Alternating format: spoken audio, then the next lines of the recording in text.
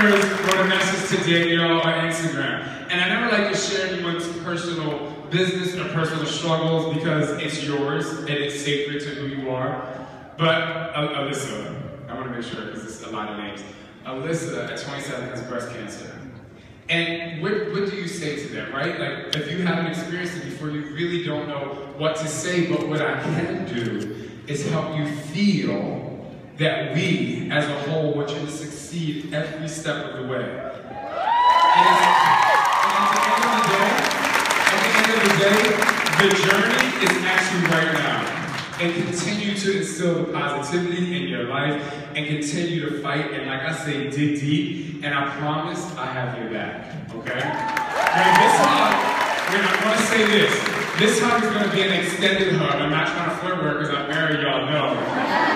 But we're going heart to heart and you take whatever you want, whatever kind of energy you want from me, you take it, and you thrive off of it, okay? I'm not gonna let you go.